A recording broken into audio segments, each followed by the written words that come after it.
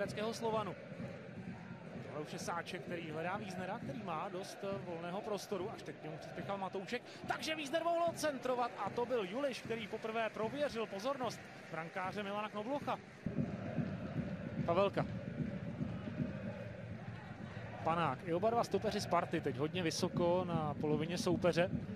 Počkal, prostrčil na Víznera, který okamžitě posílá balon do šestnáctky a tohle je střela, která končí v síti. Jakub Pešek otevírá skóre zápasu. Rondič. A znovu on.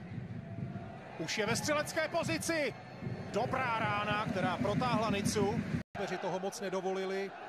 A popravdě řečeno, Slovan se pere spíš sám se sebou a zatím moc nemá co nabídnout.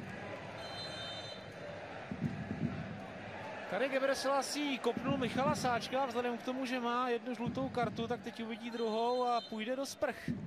Nebylo to sice v žádném případě nic úmyslného, Gebreselassie chtěl zahrát ten balon za sebou, ale trefil hlavu spartianského záložníka, se kterým to teď nevypadá úplně nejlépe. Už ho tam mají v péči maséři, tady uvidíme ten nešťastný moment. Tady je Jakub Pešek, Řekl bych, že po jeho příchodu do Sparty mnozí fanoušci velmi rychle zapomněli, že Jan Plavšič odešel do Slávě. Tohle je Karabec a Adam Hložek ve velké šanci ještě klička. Nakonec je z toho gol!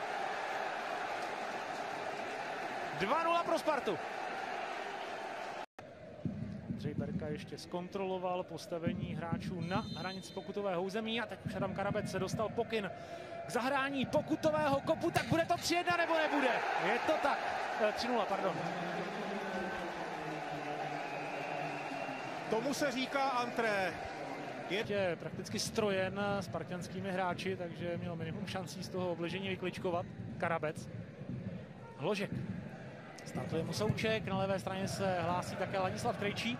No a Souček mu to dobře posouvá, takže Ladislav Krejčí ve velké šanci. 4-0 pro Spartu.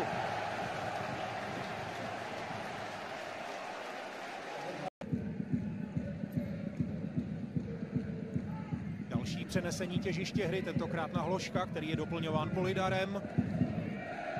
Hložek, Krejčí, Souček Prospartu.